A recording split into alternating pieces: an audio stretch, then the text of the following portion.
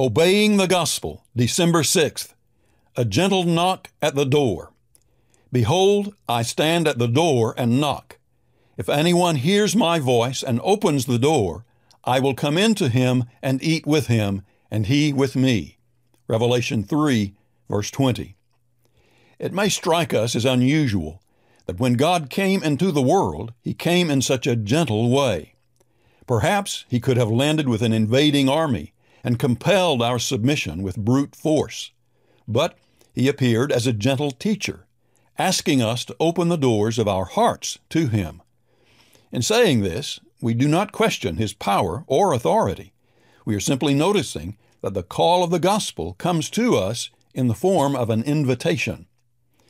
In my life, there have been times when I wondered why the truth about God and His Son, Jesus Christ, is not more compelling.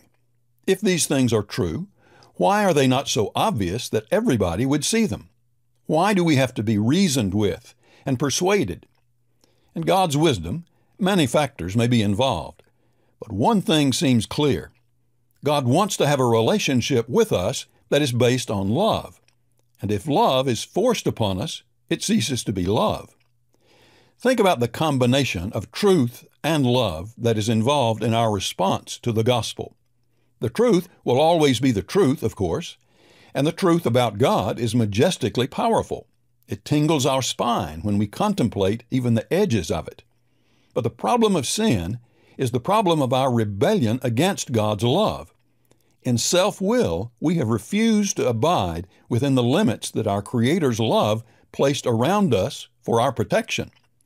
Yet the wonder of the gospel is that He loved us enough not to leave us in our alienated condition.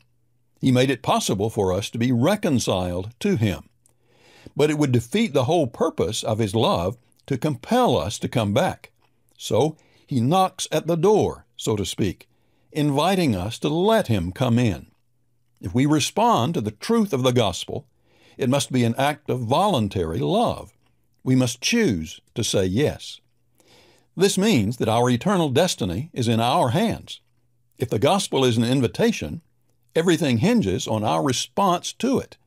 Will we accept our Father's love or will we reject it? If we are lost, we will probably spend eternity blaming God for not being more forceful to break down our resistance. But if it's not love that brings us back home, what good would it do for us to return to God anyway? What He desires is our love or nothing at all. As Grady B. Wilson wrote, Jesus Christ will never strong arm his way into your life.